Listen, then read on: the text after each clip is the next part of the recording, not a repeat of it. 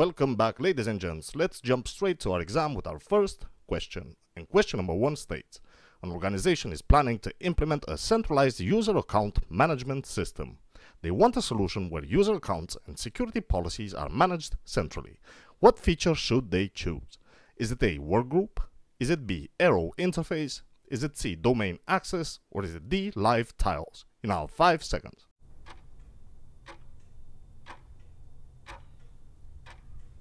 And the correct answer is C. Domain access. In a business environment, especially with medium to large scale requirements for user authentication and access control, opting for domain access is pivotal. A domain provides centralized management of user accounts and security policies, offering efficient control and administration. Consider an organization with hundreds of employees spread across departments. Domain access ensures a unified user authentication system, simplifying account management and enhancing security. And now for the incorrect answers, work groups are suitable for smaller networks where each computer manages its user accounts independently. This decentralized approach is not conducive to the organization's requirement for centralized management. The Aero interface pertains to the visual design of the desktop and it's unrelated to user account management. And live tiles are interactive elements on the start menu providing real-time information, but they don't address the need for centralized user account management. And for the next question of our exam, question number two. And the question states, an individual is using a computer with a visually appealing desktop style that includes translucent windows. Which desktop style is likely being used? Is it a Fluent design system? Is it B, Windows Aero interface? Is it C, traditional layout? Or is it D, live tiles? In our 5 seconds.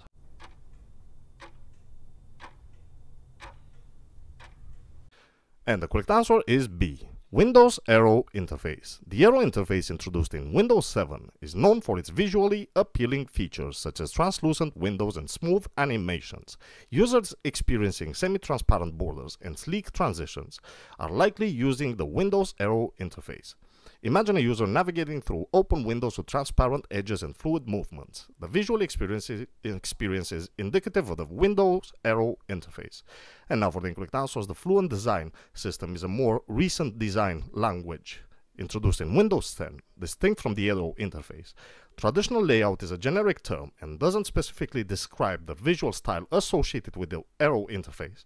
And live tiles are part of the Fluent design system but are unrelated to the visual features of the Aero interface. And for the next question of our exam, question number 3. And the question states, an organization wants to enable remote access to a computer, allowing it to connect to users. Which Windows feature would support this requirement? Is it A. Remote Desktop Protocol or RDP? Is it B. Digital signatures? Is it C. Fluent Design System? Or is it D. BitLocker? You know, 5 seconds.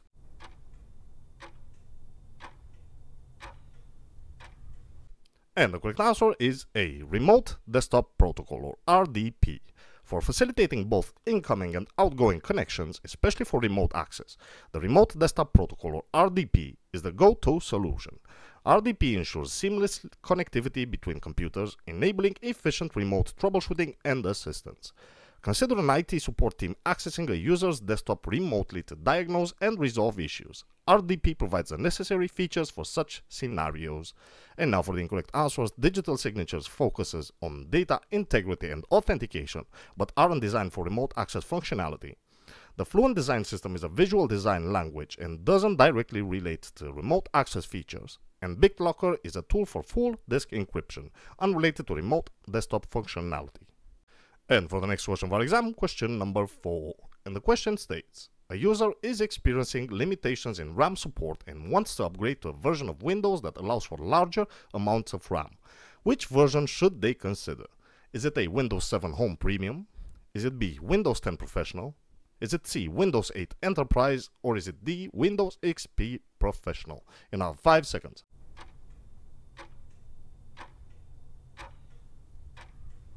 And the correct answer is B, Windows 10 Professional. Windows 10 Professional, especially the 64-bit edition, supports larger amounts of RAM compared to home editions. For users engaged in resource-intensive tasks, upgrade, upgrading to Windows 10 Professional ensures better support for larger RAM capacities leading to improved system performance. Imagine a user working on tasks like video editing or graphic design that require substantial memory. Windows 10 Professional provides the necessary support for enhanced system capabilities. And now for the incorrect answers, Windows 7 Home Premium Home editions typically have limitations in RAM support compared to professional or enterprise editions. Windows 8 Enterprise, whilst enterprise editions may support more RAM, Windows 10 is a more modern and widely used option.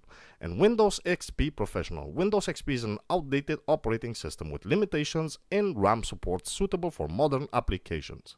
And for the next question of our exam, question number 5. And the question states, a user wants to encrypt the entire drive to enhance data security. However, they are using a version of Windows that lacks built-in BitLocker support. What alternative should they consider? Is it A. TrueCrypt? Is it B. FileVault? Is it C. BitLocker to go? Or is it D. Windows Defender encryption? In our 5 seconds.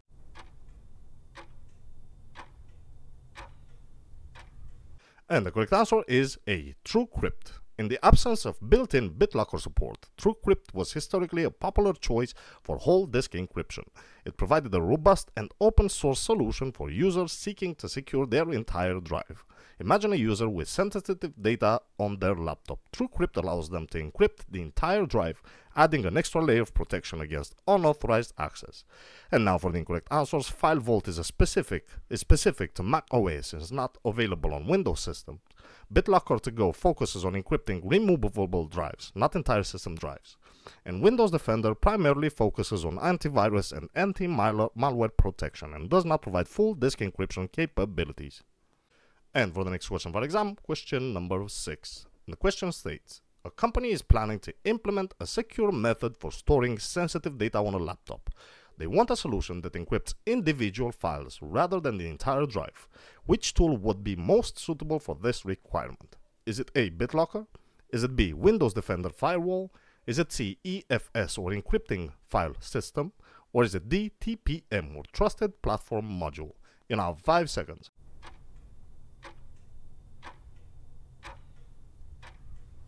And the correct answer is C. EFS or Encrypting File System. For securing individual files on a Windows system, Encrypting File System or EFS is the appropriate choice. It provides file-level encryption, allowing users to protect sensitive data without encrypting the entire drive. Consider an employee needing to secure a specific folder containing confidential documents. EFS enables them to encrypt only the files within that folder, maintaining flexibility in data protection. And now for the incorrect answers, BitLocker is designed for full disk encryption, not individual file encryption. Windows Defender Firewall focuses on network security and does not offer file-level encryption capabilities, and TPM is a hardware-based security feature related to securing the system boot process and is not used for file-level encryption. And for the next question for exam, question number 7. And the question states, a user is looking to customize the appearance of their Windows desktop, including changing the Windows colors, background, and sound schemes. Which feature should they use for this customization? Is it A. Aero Peek? Is it B. window snap? Is it C. Personalization settings? Or is it D. Task view? You now have 5 seconds.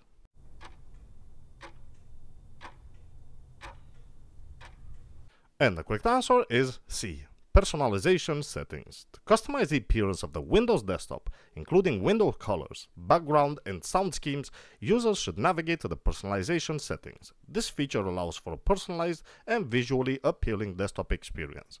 Imagine a user wanting to set a specific wallpaper, change the uh, accent color, and customize sound. Personalization settings provide a centralized location for this customization.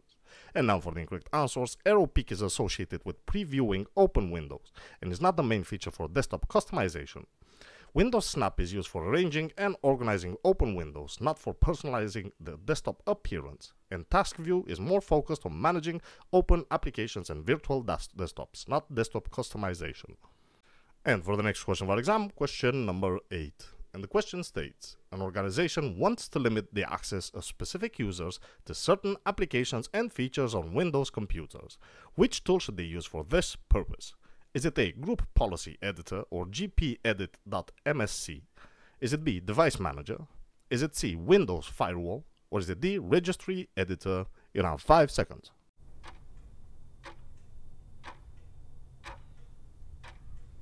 And the correct answer is A. Group Policy Editor or gpedit.msc. For controlling user access to applications and features on Windows computers, Group Policy Editor is the appropriate tool. It allows admins or administrators to define policies that govern user behavior and access. Consider an organization where certain employees should have restricted access to specific applications. Group Policy Editor facilitates the implementation of such restrictions. And now for the incorrect answers, Device Manager is used for managing hardware devices and drivers, not for controlling user access to applications. Windows Firewall is primarily focused on network security, not on application level access control and Registry Editor is a tool for modifying system settings and configurations and is not designed for user access control. And for the next question of our exam, question number 9. And the question states, a user is concerned about unauthorized access to their Windows computer and wants to implement a solution that requires a physical device for authentication. What feature should they consider? Is it a Windows Hello? Is it B, BitLocker? Is it C, Credential Manager? Or is it D, security and maintenance? You know, 5 seconds.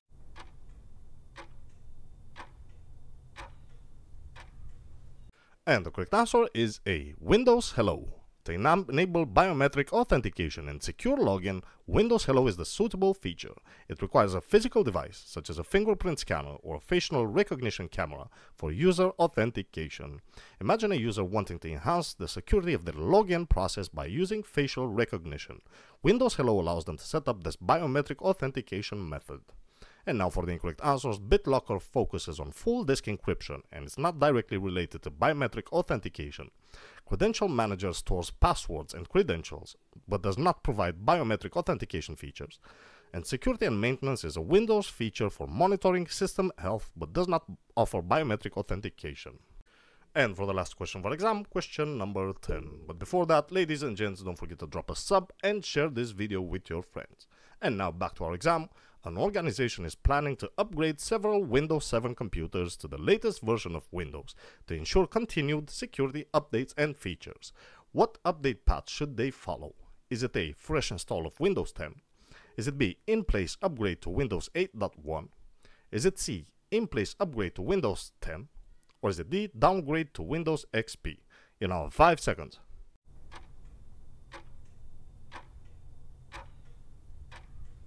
And the correct answer is C. In-place upgrade to Windows 10. For upgrading Windows 7 computers to the latest version with continued support, performing an in-place upgrade to Windows 10 is the recommended path. This ensures a smooth transition whilst preserving user data and applications. Consider an organization with Windows 7 computers that need to stay current with security updates and features. In-place upgrade to Windows 10 allows them to achieve this without a fresh install. And now for the incorrect answers, whilst the fresh install is an option for Windows 10, it involves reinstalling applications and migrating data separately. In-place upgrade to Windows 8 is an older version and directly upgrading to Windows 10 is more practical for staying current and downgrading to Windows XP to an unsupported and outdated operating system like Windows XP is not a recommended approach for security reasons. Ladies and gents, this is the end of our exam. If and only if you found this video informative, make sure to drop a sub and share this video with your friends. I hope you found this video useful and I will see you guys next time.